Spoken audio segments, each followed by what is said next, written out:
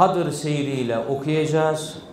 Munfasılı bir, muttasılı iki.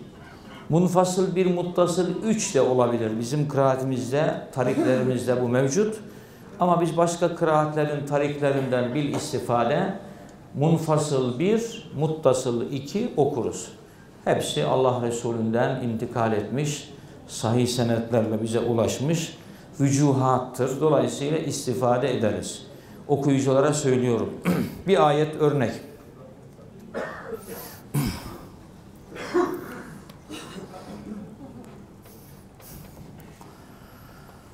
أعوذ بالله من الشيطان الرجيم بسم الله الرحمن الرحيم لا خير في كثير من نجواهم إلا من أمر بصدقة أو معروف أو إصلاح بين الناس ومن يفعل ذلك ابتغاء مرضات الله فسوف نؤتيه أجرا عظيما Bu seyirle, bu tempoda bağırmadan e, ve ölçülere riayet ederek